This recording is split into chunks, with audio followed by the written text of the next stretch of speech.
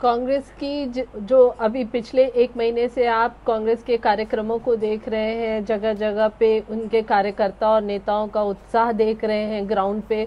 उससे कुछ अंदाज़ा आपको लग रहा होगा कि कांग्रेस किस रफ्तार के साथ इस चुनावी रण में आ रही है हम्म। और सबसे पहली चीज़ ये है कि हम 27 सालों में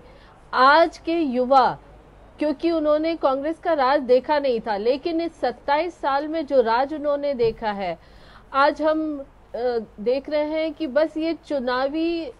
मोड में हर वक्त चाहे राज्य सरकार हो या केंद्र सरकार हो हम्म। वो उसी मोड में दिखती है न उन्हें कानून व्यवस्था की चिंता होती है न उन्हें विकास की चिंता होती है बस कोरे वादे वादे रहते हैं हम्म। और आज करीबन करीब करीब सभी मुद्दे पे राहुल जी से प्रश्न किया गया और राहुल जी ने बड़े साफ़ शब्दों में कहा हम्म। कि हम न जाति बिरादरी में को मानते हैं न हम झूठे वादे करने पे रहते हैं। हम उस अंतिम आम आदमी के साथ रहेंगे और हम विकास के हर उस पहलू को छुएँगे शबनम जी आज की तारीख की अगर बात की जाए तो कांग्रेस किस पायदान पर खुद को खड़ा हुआ पाती है उत्तर प्रदेश के लिहाज से अगर बात की जाए भले ही अब पार्टी के कार्यकर्ताओं में जोश भी भर गया जिसका प्रयास भी किया जा रहा है कांग्रेस की तरफ़ से लगातार